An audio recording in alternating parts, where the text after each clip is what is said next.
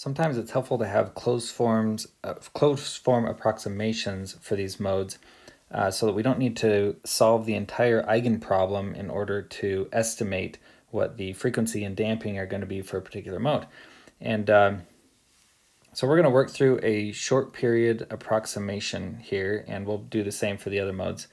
Um, but uh, but but it's kind of nice to have these closed form solutions because then you can also see what terms are really important for uh, creating um, our frequency, you know, what our frequency and damping are related to, what aerodynamic derivatives are those predominantly related to. And so if we want to change the dynamics of an aircraft, we can know which uh, derivatives or, or which properties of the aircraft we should be focused on.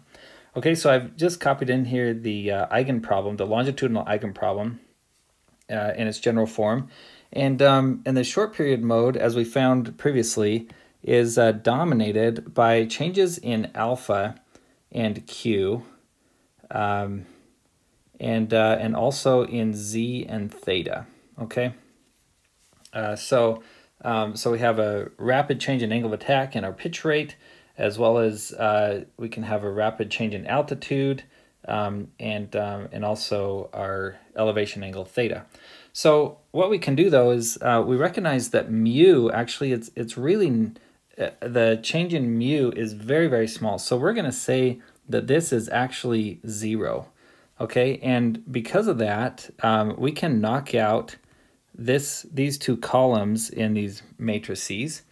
Uh, we don't care what's in those columns.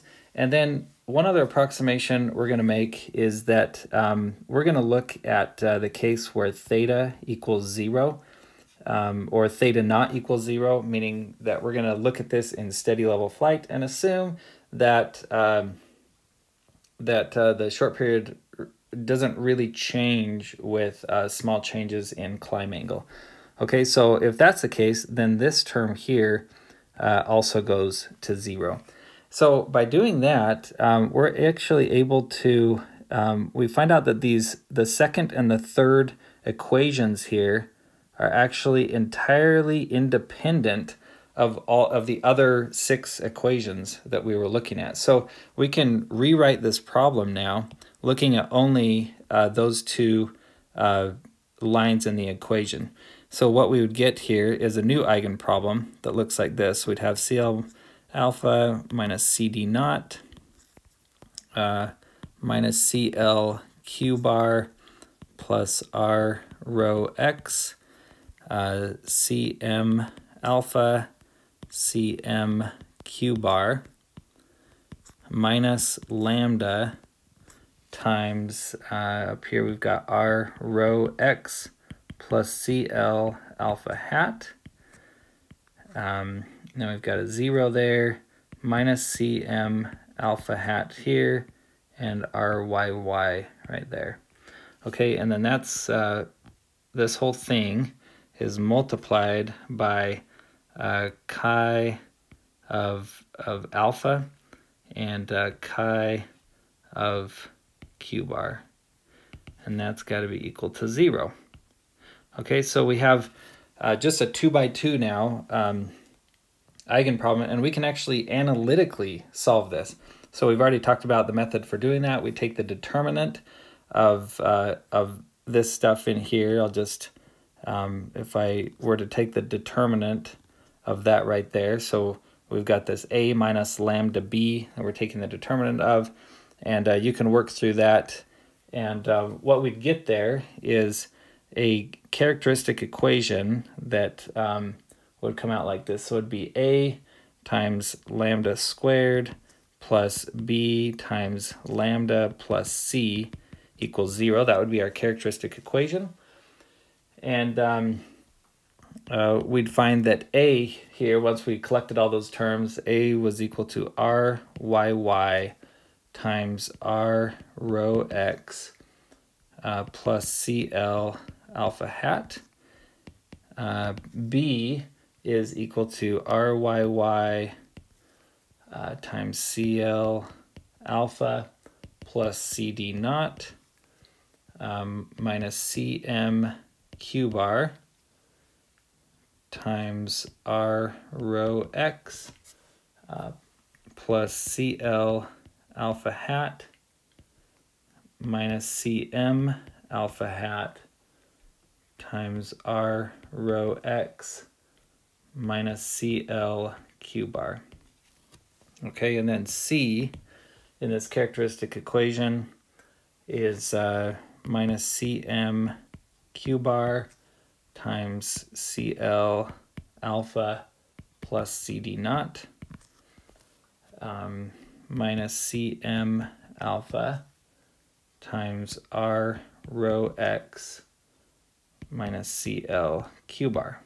Okay, so there's our uh, our characteristic equation, and of course this can be u uh, this can be solved using um, uh, the uh, quadratic equation here, um, and that would give lambda equal to um, minus b plus or minus the square root of b squared uh, minus 4ac all over 2a.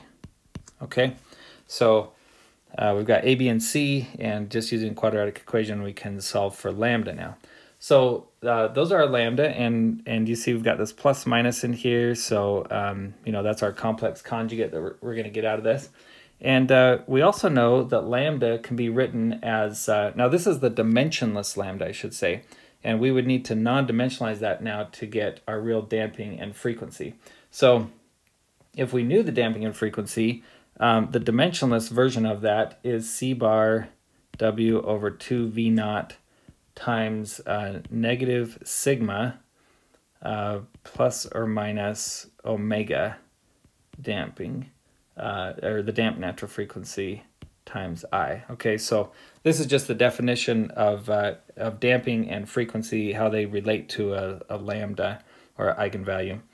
Um, and uh, so we can figure out exactly what the damping and the frequency would be. So damping, um, or yeah, the damping is um, going to be equal to V naught over C bar W uh, times B up there, that this B right there, divided by A. Okay, so divided by that A.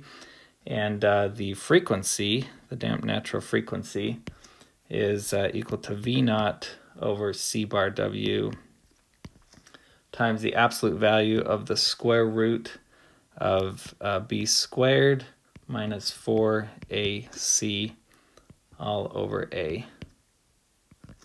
Okay, and um, and that's simply because um, we could get that stuff from realizing that uh, the damping is equal to um, minus 2 V naught over C bar W. This is the dimensional damping times the real part of lambda. And uh, this was equal to uh, 2 V naught over C bar W times the absolute value of the imaginary portion of lambda. Okay, so so we just uh, uh, got the real portion of lambda, which is this minus b over 2a. When we multiply it by this to, to make that dimensional, um, it simplifies to this right here. And then uh, when we took the imaginary por portion of, of lambda, which is this ratio right there, and multiply it by uh, 2 v naught over c bar w, then we end up with this right here. So, uh, so that's where those two come from. So uh, we can now uh, if we want to, and I'm not going to work through this, but if we wanted to, we could plug in, you know, what each of these are. So for example, sigma uh, is the real part of lambda, or excuse me, once we've once we've uh, simplified it, it's just b over a. So we can look at uh, these components of b. Uh, those are in the numerator of, of sigma, and uh, a is in the denominator of sigma. And so if we wanted the damping to be greater, we'd want the terms here in B to get larger or the terms here in A to get smaller. And so we could look through those terms and decide which of those we uh, could increase, you know, by changing something on the aircraft or decrease it by, by changing something uh, to, uh, to affect the damping of the short period.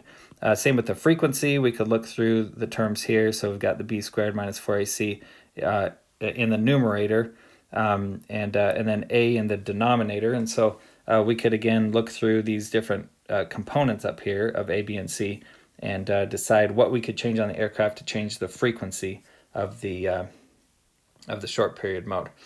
So um, anyway, this is a closed form solution. So we could, uh, so this is basically an estimate for um, for the short period mode. And so we could use this instead of our uh, eigen, or, the complete eigen problem. We could just directly solve for uh, our estimates for the damping and the frequency and this um, non-dimensional eigenvalue, or yes, eigenvalue um, for the uh, short period mode uh, without needing to go through the whole eigenproblem solver. And, uh, and we did have to make some approximations, right? So we dropped out some terms here in the general uh, eigenproblem. Uh, but those approximations weren't too bad, and it turns out that this short period approximation is actually pretty good. Um, it it's uh, actually really quite accurate, and so it's a kind of a simpler way or a quicker way to estimate your short period properties without needing um, all of these other properties that uh, may be a little bit more difficult to obtain for any given aircraft. You know, these are changes in thrust with respect to velocity. You have to know things about the propulsion system, or changes with mu hat uh, which can be a little tricky to estimate or obtain. So, um, but really, it doesn't. You know, the short period doesn't really depend heavily on those things, and so that's why we could drop those out and get some approximation uh, for the short period. So now let's do that for the other modes.